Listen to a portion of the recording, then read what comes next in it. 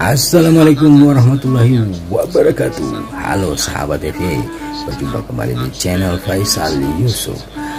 Kali ini kita akan membahas masalah Pakan alternatif ikan nila.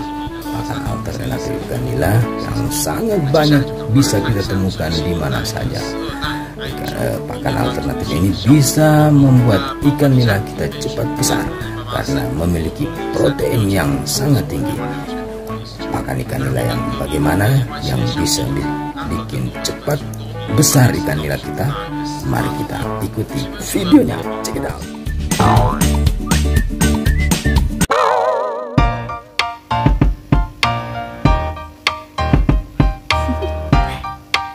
Do you want to know?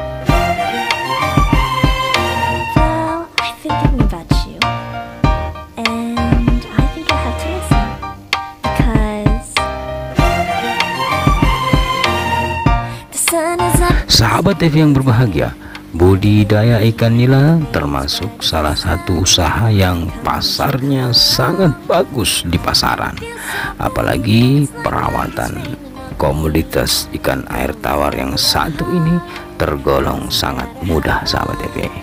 Kenapa demikian? Karena dalam berbudidaya ikan nila itu ada pakan yang bisa pakan alternatif maksudnya yang bisa uh, membuat ikan nila cepat besar. Kenapa demikian? Karena uh, pakan ini mampu mengatasi uh, ikan nila yang susah makan, yaitu dengan menggunakan empat jenis uh, dedaunan yang ada di sekitar kita.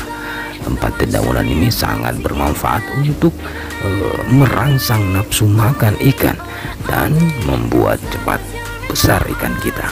Karena uh, cepatnya besar ikan itu tergantung dari nafsu makan ikan kita. Kalau ikan kita tidak mau makan ya ikan kita lambat besar sahabat TV.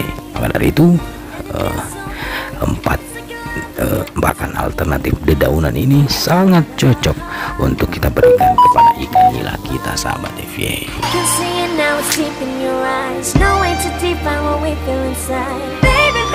Perlu diketahui sahabat TV bahwa salah satu yang sering kita keluhkan dalam berbudidaya ikan nila adalah lambannya menjadi besar ikan nila kita.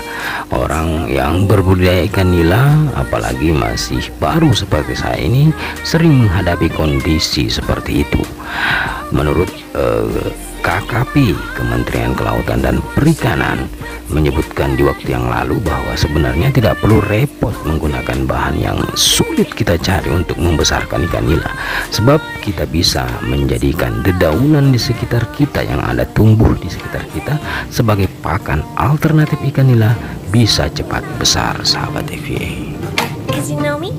heart. seperti yang kami gunakan saat ini sahabat TVA adalah daun pepaya yang sangat cukup mudah kami temukan di sekitar rumah kami.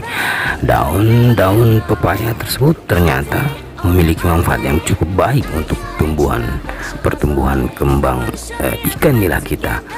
Eh, selain eh, daun pepaya, eh, ada juga daun singkong sahabat TV.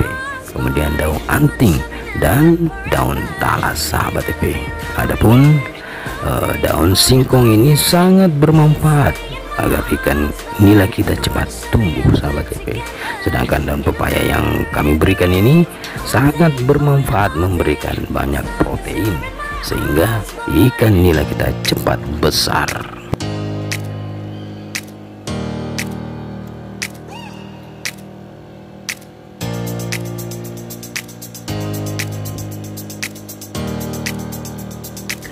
Adapun cara pemberian eh, dedaunan-dedaunan tersebut sahabat TV sangatlah mudah. Tinggal ditebarkan saja ke kolam-kolam ikan nila kita. Sebab ikan-ikan nila kita kemudian itu akan eh, rame-rame menggigit sedikit demi sedikit, memakan sedikit demi sedikit dedaunan-daunan tersebut. Karena itu bagi masyarakat yang eh, ingin berbudidaya ikan nila disarankan agar menanam singkong, talas, pepaya dan eh, tanaman-tanaman yang sangat digemari atau disukai oleh ikan nila sahabat Efrem. demikianlah sahabat FYI uh, dedaunan-dedaunan yang sangat bermanfaat untuk ikan nila mudah-mudahan ada manfaatnya. Assalamualaikum warahmatullahi wabarakatuh